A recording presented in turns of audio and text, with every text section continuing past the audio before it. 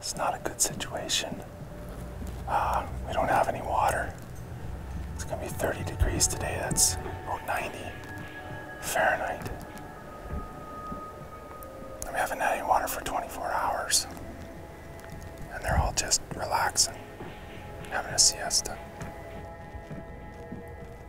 So again, we're looking at the one that's now on the far side, past the one that's just lying down.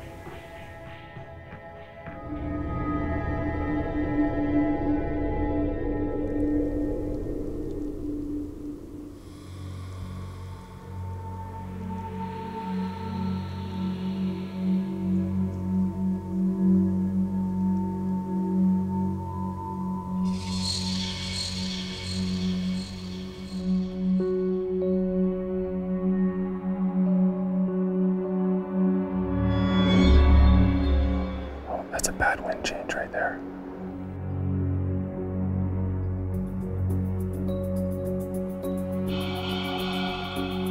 Back of the eye 90 down.